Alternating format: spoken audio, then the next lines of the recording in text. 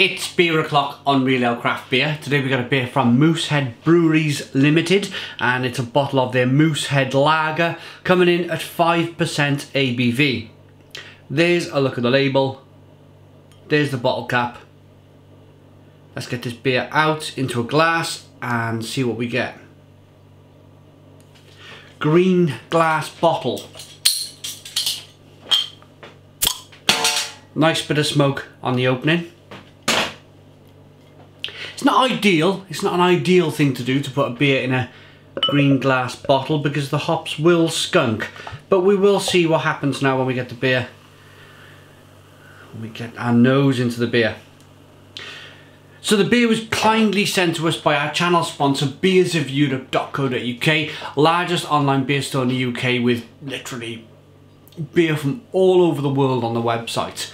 So if you like trying beer from all over the world, check out the link in the description box of the video for beersofeurope.co.uk.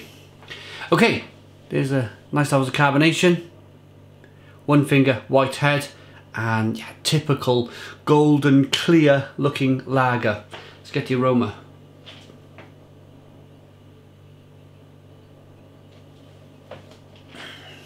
I've drunk many of these. Some people call them, or some breweries call them premium lagers. Some people call them generic, or some kind of bloggers call them generic lagers. Um, it smells like I've drunk lots of these from around the world. And they all seem to have like one base recipe. They all seem to smell and taste the same. It's got a... I pick up like a... It's like a lemony spice aroma. Lager malt, lager yeast.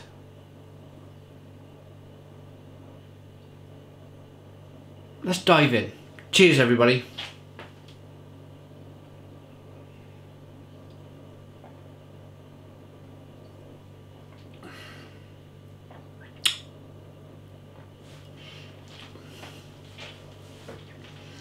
Not bad. It's not bad actually. That clear green bottle had me slightly kind of concerned. Goes well with my t-shirt, doesn't it? Yeah, it, it had me concerned because the hops in the beer would generally skunk with the because it light kind of it's the worst colour. It's worse than clear. It's green. For some reason, it kind of streams the pulls in the kind of the sunlight or the UV from the lights in the shop and it just affects the hops. But um, to be perfectly honest with you there's no smelling of skunking which is the effect of the UV and the effect of the light. And there's no real taste of it either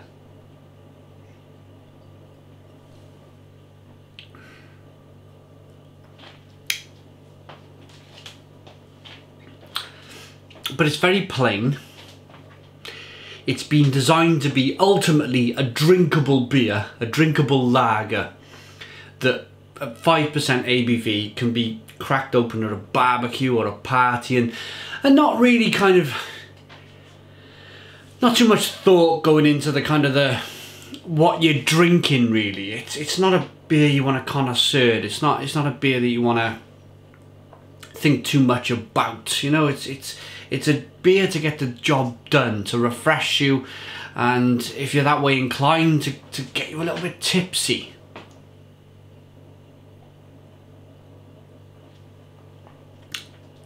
It's no craft beer.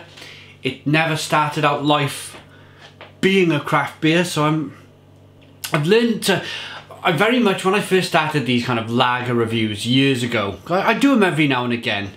Um, I used to attack the the big brands as you know. I used to be quite. Well, this is just tastes of, of nothing, and you know, I used to be quite harsh, if you like, because I've chosen to, to review the beer. It's my choice.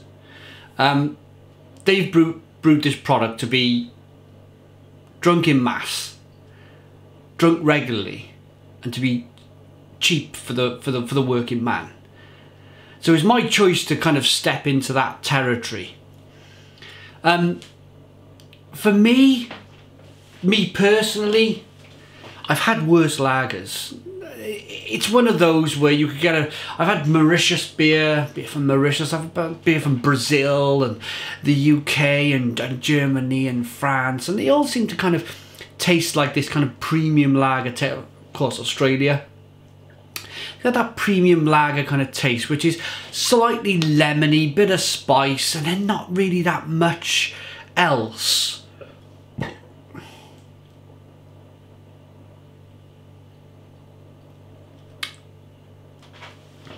So I'm going to rate it. I personally wouldn't go out my way and buy this again.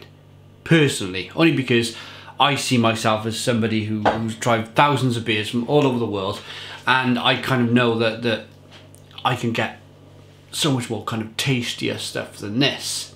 So I won't be looking to buy it again. But on the other hand, as I mentioned, I've stepped on the territory of, of, of the Moosehead Lager drinker and and maybe, you know, maybe I shouldn't. Maybe maybe I should just leave these lagers well alone. I don't know. Comment in the comments box is this review of any value to you? Did you want me to see, did you want to kind of watch a review of Moosehead Lager? Let me know in the comments box. But my personal rating, this is okay for somebody who wants a drink, a mass-produced lager, four pints after the work on a Friday. But for me, I'm not going to chase this beer again. Um, I'm going to give it a 5 out of 10. It's a 5 out of 10 from Ale Craft Beer. Please put your comments in the comments box. Subscribe to our daily beer reviews. Give us a big fat thumbs up. Boom! And cheers.